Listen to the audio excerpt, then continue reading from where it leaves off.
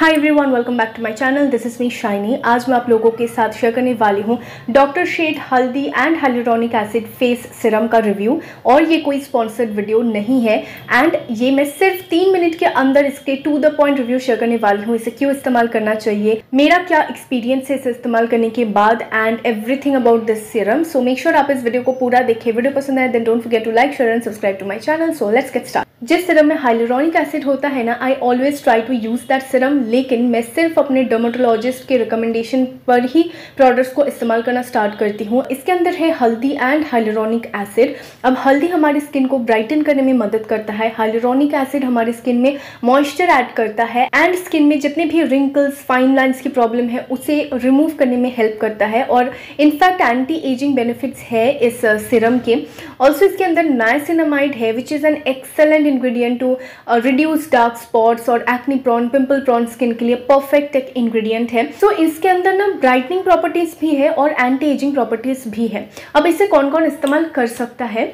uh, अगर आपकी skin में कोई भी ग्लो नहीं है डल हो गई है स्किन बहुत ही ज़्यादा डल लग रही है और आपको चाहिए थोड़ा सा रेडियंस थोड़ा सा glow then I think you should definitely go for this face serum क्योंकि इसे इस्तेमाल करने के बाद रेगुलर बेसिस पर अगर आप इसे इस्तेमाल करते हैं तो डेफिनेटली स्किन काफ़ी ग्लोइंग हो जाती है एंड स्किन काफ़ी सॉफ्ट होता है एंड रेडियंस भी आपको फील होगा कि हाँ स्किन रेडियंट दिख रही है।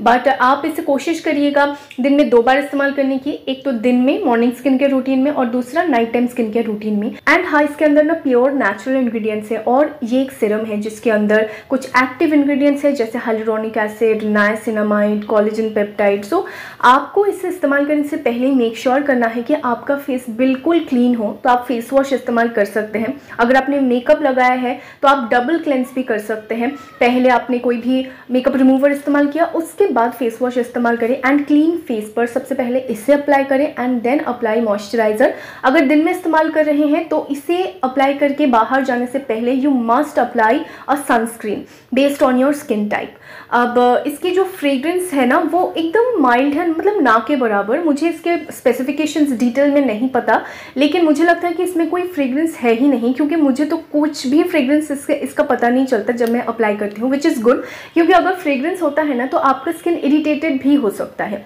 तो ये एक्नी प्रॉन स्किन के लिए सेंसिटिव स्किन के लिए परफेक्ट रहेगा।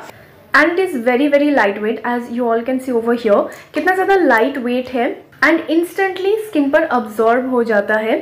सो so, या अगर आप कोई अच्छा सा light weight budget friendly serum ढूंढ रहे हैं जो कि स्किन को ग्लो ऐड करेगा रेडियंस ऐड करेगा then this is a perfect option for you all इसका परचेजिंग लिंक मैंने डिस्क्रिप्शन बॉक्स पर प्रोवाइड किया है। Make sure you check my description box so that is it for today's video इसी तरीके का शॉर्ट रिव्यू वीडियोज़ एंड बहुत सारे कॉन्टेंट्स देखने के लिए मेरे चैनल को सब्सक्राइब करना ना भूलेगा वीडियो पसंद आए then don't forget to like and share आज का वीडियो यहाँ तक ही था। Stay bless stay happy and bye